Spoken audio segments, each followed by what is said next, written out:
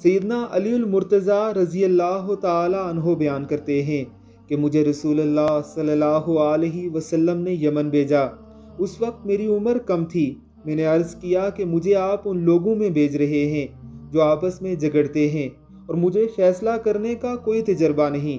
फरमाया, अल्लाह तुम्हारी ज़ुबान से सही बात निकलवाएगा और तुम्हारे दिल को मुतमिन करेगा। यानी हक अली रज़ी अल्लाह तहों की ज़ुबान पर चलता था। और आपका दिल उस हक पर मुतमिन रहता था।